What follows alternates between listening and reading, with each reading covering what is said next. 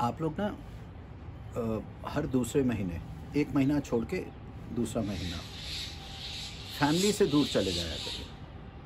I know it's a big challenge के अ, आपको लोग जाने देंगे या नहीं जाने देंगे बट अगर आप इस चीज़ को मैनेज कर पाएँ किसी भी तरह से अगर आप मैनेज कर पाए तो आप देखेंगे आपकी इंटरनल और एक्सटर्नल हीलिंग बहुत अच्छी होगी। जितना आप डिस्टेंस क्रिएट करते हैं डेली रूटीन से।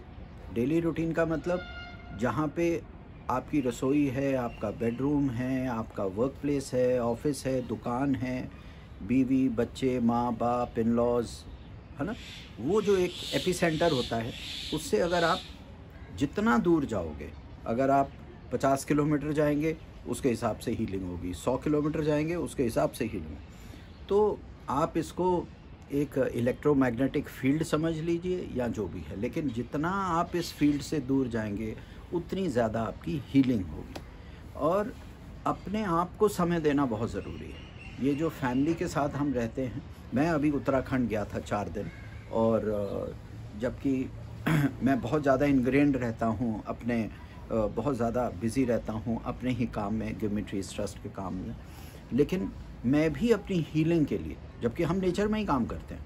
लेकिन फिर भी इससे हट के आप जो भी रूटीन मैंने वर्ड यूज़ किया रूटीन तो अपने रूटीन से हट के आपको थोड़ा सा डिस्टेंस क्रिएट करके अपने साथ अकेले थोड़ा समय बिताना चाहिए। एक दिन, दो दिन, तीन दिन, ढाई दिन, जो भी आप अफोर्ड कर सकें, है ना? तो थोड़ा सा आप एपी सेंटर से ज़रा दूर जाके बैठ के और फिर आपका मन लगेगा। जब आप वापस आएँगे ज़्यादा अच्छी तरह काम होगा। और वही वाले जो चेहरे जो आप रोज़ सुबह शाम देख रहे हैं चाहे वर्क प्लेस हैं चाहे होम प्लेस है चाहे घर की बात है रिलेटिव्स हैं वही चेहरे उतने उतने उतने अ, आपको ज़्यादा फ्रेंडली लगेंगे फिर है ना? टॉलरेबल लगेंगे। तो कीजिए इस चीज़ को ट्राई कीजिए। हर महीने नहीं, हर महीने पॉसिबल नहीं है, मैं समझ सकता हूँ प्रैक्टिकल नहीं है।